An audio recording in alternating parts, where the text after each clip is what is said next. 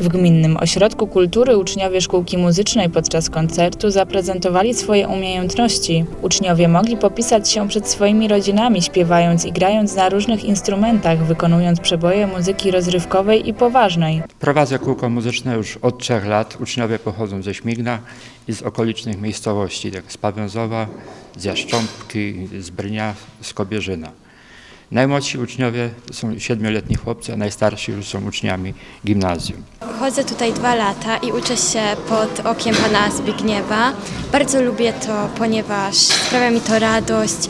To jest taki rodzaj wolnego spędzania czasu. Ja również chodzę tu od dwóch lat, no i się uczę pod okiem pana Zbigniewa, tylko ja chodzę na gitarę i uczę się grać na gitarze. Edukację rozpoczynamy od ćwiczeń ze szkoły na fortepian, a następnie przechodzimy do, do coraz trudniejszych piosenek i innych utworów. Repertuar, w którym się opieramy, to są to melodie ludowe, popularne, jak również współczesne przeboje.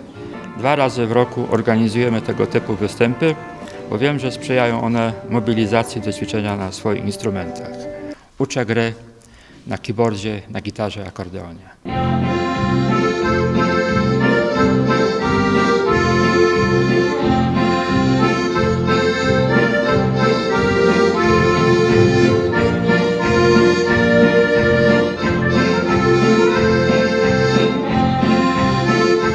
Na zajęcia uczęszcza 17 uczniów z całej gminy.